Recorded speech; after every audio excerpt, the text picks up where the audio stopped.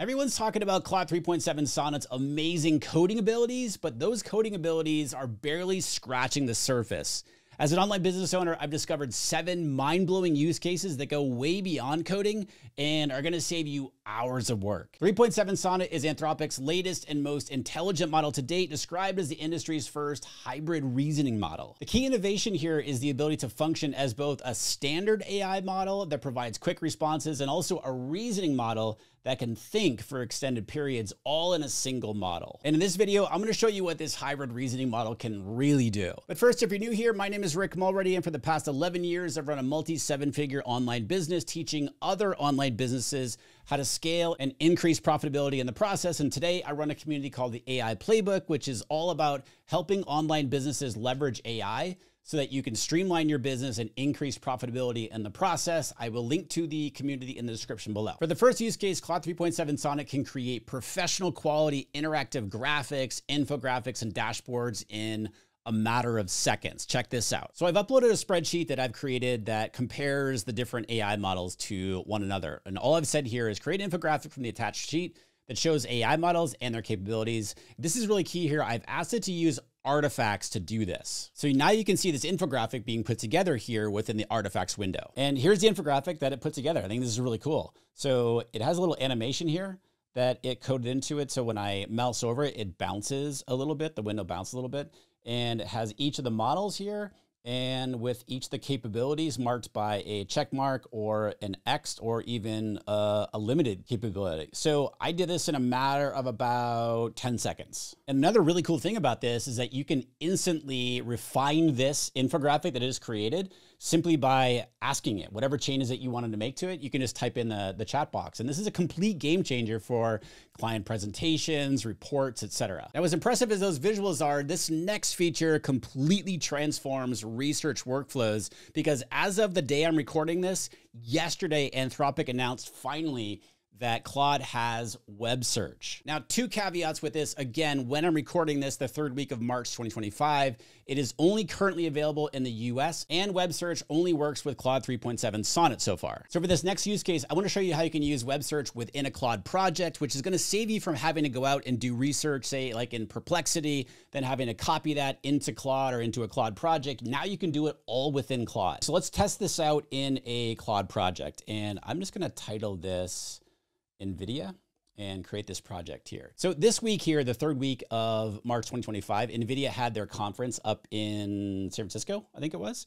And so what I want to do is I want to, number one, test the web search capability within a project. And then I want to take that result that it gives us, as long as it's accurate, and put it right into the project knowledge source as a markdown file. So I've just asked it, what are the big announcements from the NVIDIA conference this week, March 2025? And let's see what it comes up with. All right, so as you can see here, the output is current. It's saying March 17th through the 21st, 2025, and it's going through the different announcements. These are all pretty accurate from the looks of it because I've been following this this week, and it looks like it's giving me a pretty good overview, and it looks to be current. So what I'm gonna do here is I'm gonna go to the bottom of the artifact screen here and click on this little icon that says add to current project. So now what I've been able to do is add that research directly as a project knowledge source within this project here and it's doing it with Markdown, which is gonna take up less space within the project knowledge capacity. So as you can see here, this is a huge time saver. You don't have to go out to external tools again to do the research and then bring that research into Claude and then have Claude 3.7 Sonnet do something with it. You can do all your web search now within Claude, and especially it's really cool within Claude projects so you can add the output directly as a project knowledge file. For use case number three, with a single prompt, Claude 3.7 Sonnet can now build complete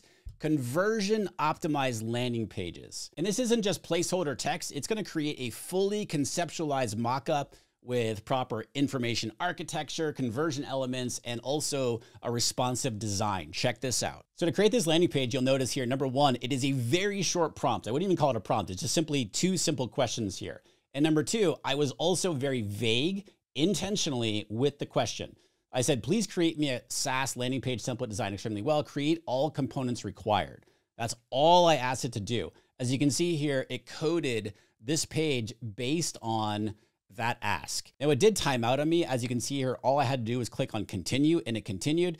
Check out this page that it created in a matter of minutes. Again, all from the simple prompt, please create me a SaaS landing page template designed extremely well, create all components required. That's it. And again, just like other things I'm showing you here today, if you want to make any changes to this or what it creates for you, you can just simply ask it to change the colors, do it in dark mode, uh, make it more visually appealing, whatever it is that you want to do, you can ask 3.7 Sonnet in the chat box there. It'll make the changes for you right inside the artifact here. For this next use case, we're going to dig into the extended thinking of Claude 3.7 Sonnet, specifically it's really, really good at creating metrics dashboards for your business and also analyzing the data that you give to it. So basically, you can upload your data, ask it for projections, create a dashboard for you with strategic insights about trends, anomalies, and opportunities. And so let me show you an example of what I'm talking about here. So for this, rather than me uploading an actual CSV from my business, I'm going to ask it to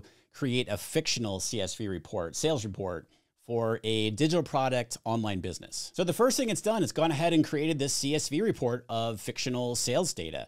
It then automatically went right into the next step of visualizing that data to help us better understand the sales trends from this fictional CSV. So it's created this dashboard here for me. I'm very underwhelmed by how it looks. So I've gone in here and said, actually turn this data into an exquisite looking interactive dashboard where I can see sales by product, month, and type. Let's see what it does. And that was created this really cool looking sales performance dashboard that again is interactive. So I can scroll down here, for example, and I can look at a line chart, a bar graph, the sort of stacked chart, and go down here and I can, if I change the product categories, let's just say I want to do this and it's all interactive here, which is really, really cool. Again, I have this little pie chart down here.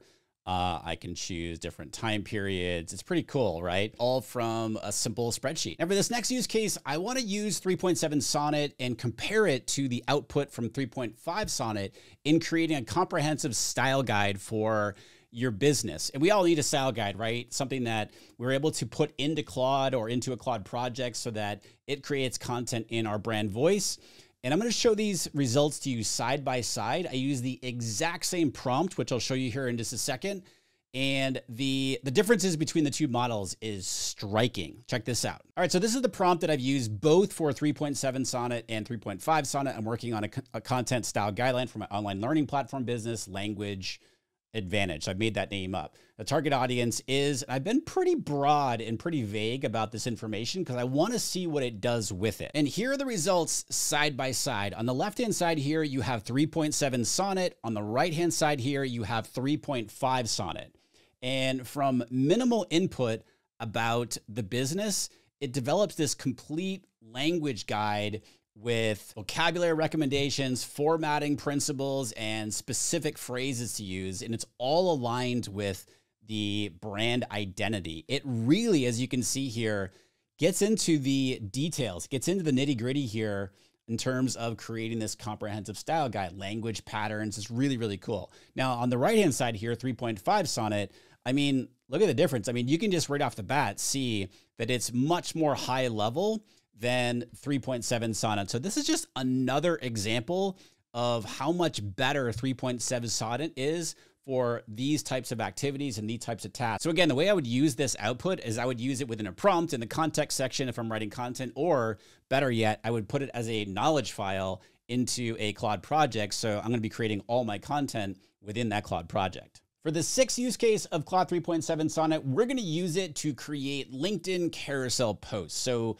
as we've seen here in this video, 3.7 Sonnet is really good at creating visual design assets. So that's exactly what we're going to do here. We're going to create social media carousels or even presentation slides and use them as customizable starting points that we can then import into a tool like Figma or Canva. So I want to do this in a Claude project. So I'm just going to call this LinkedIn carousels. And just like earlier in the video, we're gonna do some research using web search right here within the project so that we can be adding it to the project knowledge. So I've just typed in here, what are all the best practices of creating highly engaging LinkedIn carousel posts? Use artifacts for the answers. I'm gonna go ahead and click. It's gonna use web search to do the research here. And as you can see here, it's ripping out some great information. So now what I'm gonna do, just like before, I'm gonna add to the current project. So as you can see here, it's been added over here as a knowledge file, again in Markdown. So another knowledge source that I want to add to this project is I want to give it visuals of LinkedIn carousel posts. And so I can do web search here again in the project, but it's not going to give me the actual images.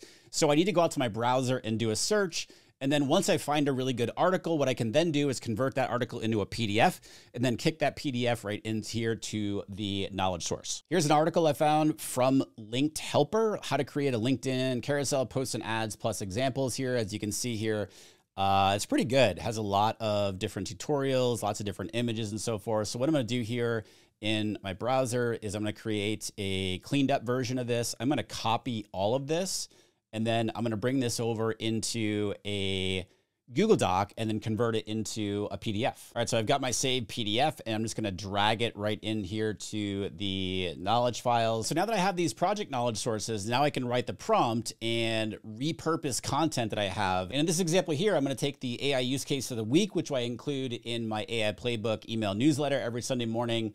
And I'm gonna ask it to repurpose that piece of the newsletter into LinkedIn carousel content. So as you can see here, it's put together a slide by slide content draft and it's also putting together the carousel designs and it's coding it right over here. So now that it's created this slide for us, all I have to do here is download the file. So then all we have to do is drag our downloaded image right into Figma and I can manipulate the image however I want. And then I just let 3.7 Sonnet finish out the rest of the slides there for my carousel, do the exact same thing, bring them right into Figma, edit them however I want. And now I've created an entire LinkedIn carousel in a matter of minutes. Now I will say you could do the exact same thing and import them into Canva, although you can't edit them once you get into Canva, which is why I would use a tool like Figma in order to do this. And finally, for use case number seven, we're gonna use Claude 3.7 Sonnet to do something, as we've seen here today, it's really good at. We are gonna use it to analyze sales call transcripts, but not just do any kind of ordinary analysis.